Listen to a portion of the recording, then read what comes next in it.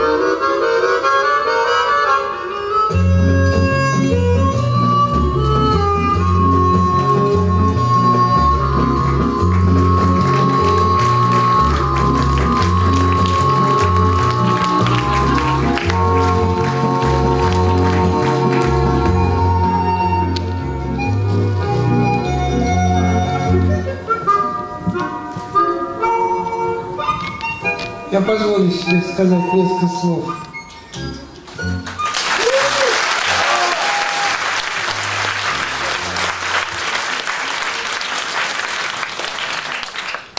У нас с вами и у всех клоунов, у всех артистов пантомимы праздник.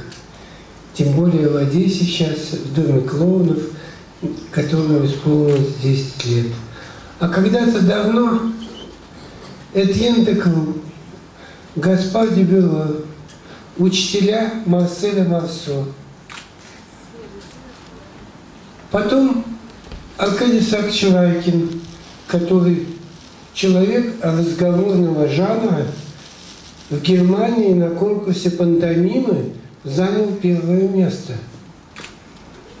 А Леонид Ингибаров, а Феликс Агаджанян, Александр Жиромский,